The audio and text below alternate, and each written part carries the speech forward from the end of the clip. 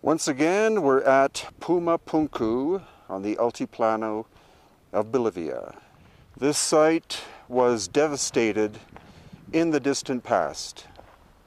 You can see there's some stones that are still buried. And since the Tiwanaku civilization took over this location about 1,000 years ago, it started to be used as a quarry. And that continued up until the early part of the 20th century. I'm not looking for treasures. I'm looking for the knowledge what what happened with Tiwanaku. So I got 20 of these studies, including a pyramids. I'm not allowed to tell where the pyramid is, but this is the work, scientific work we did for many years, and I'm very glad. Maybe it wasn't the time when, when they kick us out from the, the archaeology place because we got this information. Nobody did get inside since the destruction of Tiwanaku. And we just have to dig one meter and a half and we can get in the chamber. It gotta be the big skeletons, pottery, gold, of course, and all those things. But the most important, we have to decode what's inside inside here. It's very important to know you what we got here. So, as Antonio was saying, a meter and a half below this site, there are chambers because they did testing with ground penetrating radar. This is possibly, or this is, the largest slab which is left. It's made of red sandstone and weighs more than 100 tons. The location of the quarry is eight miles over those mountains. And these are some of the famous, excuse me, H blocks. Four located here, and two located there, and two more located here. And here we have the interesting left arrow sign. It is unique at this location. So there are nine H blocks in total. It's quite possible that there may have been a few more, but unlikely many more, because the H block is a weird shape.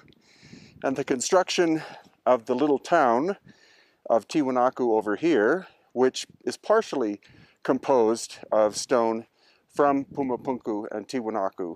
We don't see any evidence of H blocks there. So the idea that it was some kind of ramp for a rocket ship or that um, it was a giant wall is highly unlikely. But if there were only nine H blocks, what was the function? And again, these massive sandstone blocks.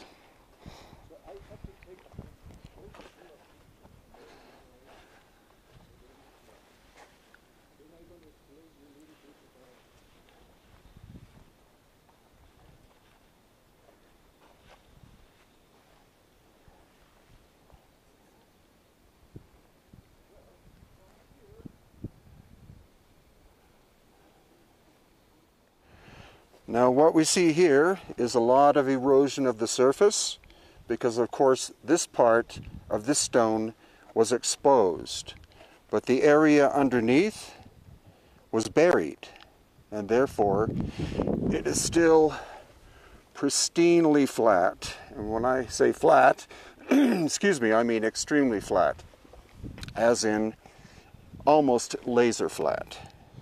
So clearly, some kind of devastating event happened here, and most likely prior to 1000 AD when it was discovered by the Tiwanaku civilization, because, again, some of these stones were buried underground. But what kind of cataclysm could it be? Or could it have been? Likely it was a tsunami that came from Lake Titicaca, which is approximately seven miles in that direction. And a wall of mud came and buried this site that we call Pumapunku.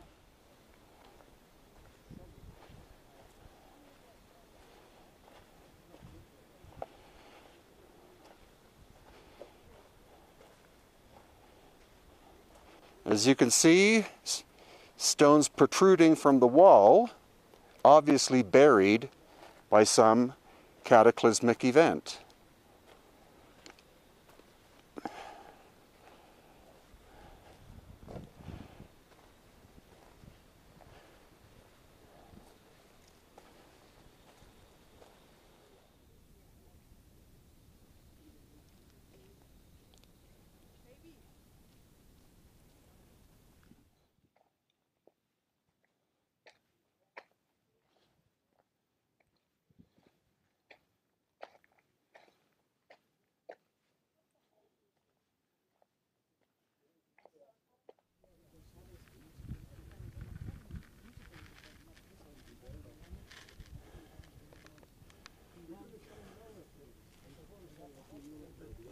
So we have two forms of technology that was that were employed here.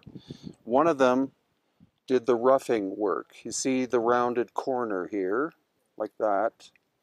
And then another machine came here and produced the flat surface.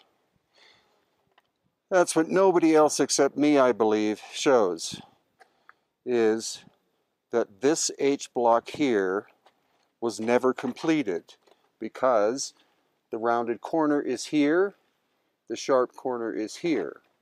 In a finished H block, you have the crisp corner. And as engineer Chris Dunn noted, this shape is a dovetail. This distance is greater than this distance. And each H block has a unique shape, and size, a unique dimension. No two are the same. This is obvious when we go behind it and look, you see, no two are the same. And again, with the backs of these two H blocks, that one, and then this one. There is no other site, no other location on planet Earth that looks like Pumapunku. It is nothing like what we see in Cusco, the Sacred Valley, and Machu Picchu. So, whoever created it, quite possibly, only came to this location and produced here, which is very strange. It was not the Tiwanaku culture that did this work. It's an unknown civilization.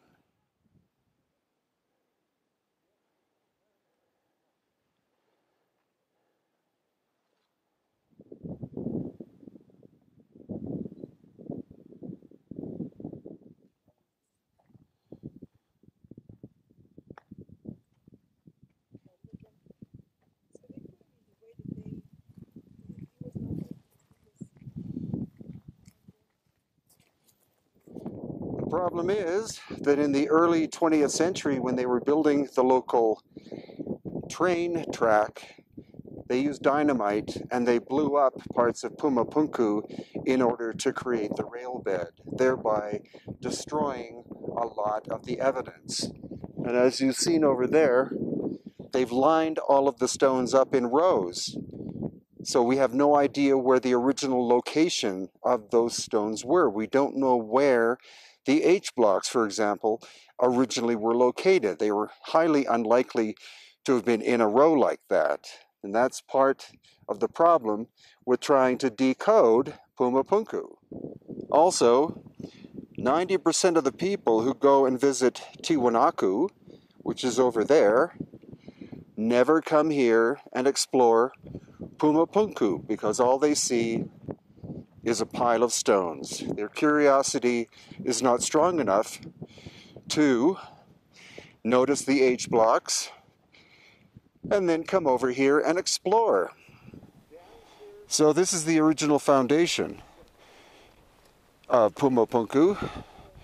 And as you can see, clearly excavation had to be done in order to expose it.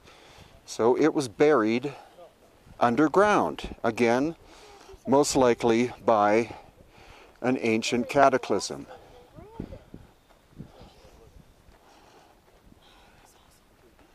Levels 1, 2, 3, and 4 are the limestone, or sorry, the red sandstone. Level 5 is the gray andesite. No mortar or any kind of filler used in the foundation. All originally very tightly fitting together.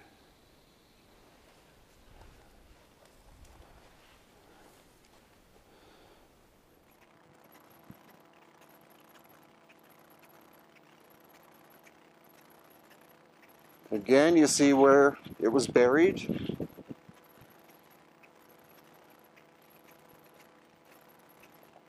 And then excavated. So again, the red sandstone is from a quarry eight miles off in this direction, whereas the gray andesite is from a volcano 45 miles in that direction. The red sandstone is not magnetic or does not respond to either a compass or a Tesla meter, but the gray andesite does. It's not uniform. It's not that each of the andesite blocks has the same reading on the Tesla meter.